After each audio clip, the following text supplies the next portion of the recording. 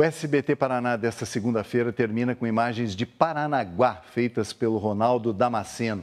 A cidade está de aniversário, 376 anos, e daqui a pouquinho tem shows de Zé Felipe e da dupla Fernando e Sorocaba. Muito obrigado pela sua companhia aqui no SBT Paraná. Eu desejo uma ótima noite, uma semana muito massa para você e para toda a família. E para o pessoal de Paranaguá, o nosso grande abraço e o nosso carinho. Até amanhã, a gente se encontra aqui de novo às 7h20 da noite no SBT Paraná.